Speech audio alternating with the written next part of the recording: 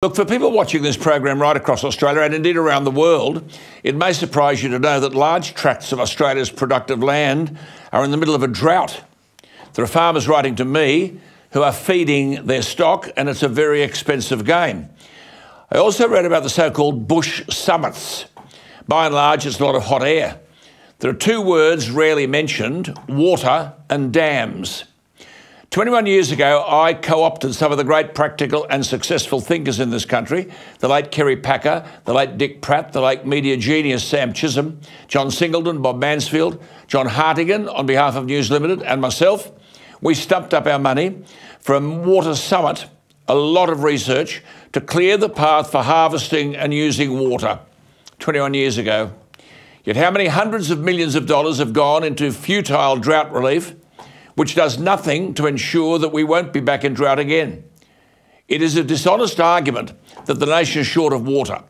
We only use at most 6% of our available water. For example, Lake Argyle in Western Australia releases 50 tonnes of water a second.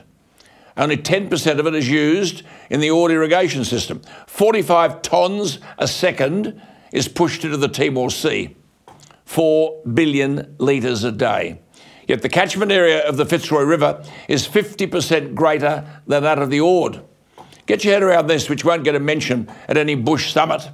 Queensland's northeast has four times the water of the Murray Darling Basin.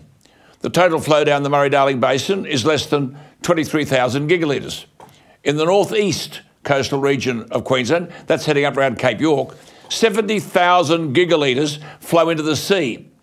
I've argued for 30 years that we've left our brains behind. A gigalitre is a thousand Olympic sized swimming pools. So northeast Queensland has 70,000 multiplied by 1,000 Olympic sized swimming pools flowing into the ocean. Go further west, the Gulf of Carpentaria, it's got 130,000 available gigalitres. 130,000 times 1,000 Olympic sized swimming pools. Take Sydney, 400 billion litres of sewage.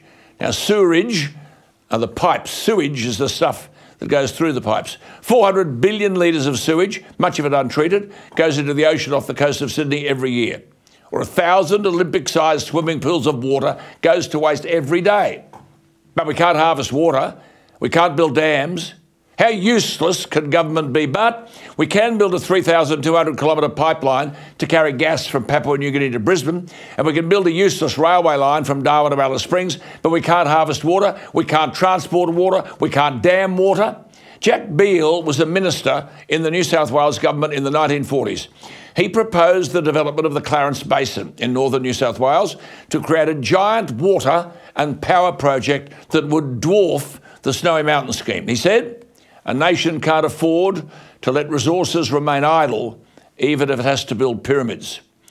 The pathetic behaviour of successive governments on the issue of harvesting and damming water dishonours people like Jack Beale. But it is now worse than that because, with all this Aboriginal heritage stuff, wind farms change, changing the landscape and ruining agricultural land because renewable energy, of course, will save the planet, won't it? The place is being run by tossers a tosser is defined as an obnoxious person. So, speaking of tossers, if Bowen and Co think that the farmers are going to be a pushover and will surrender their agricultural land to transmission lines, wind farms, and solar farms, the arrogant and incompetent Bowen will need to think again.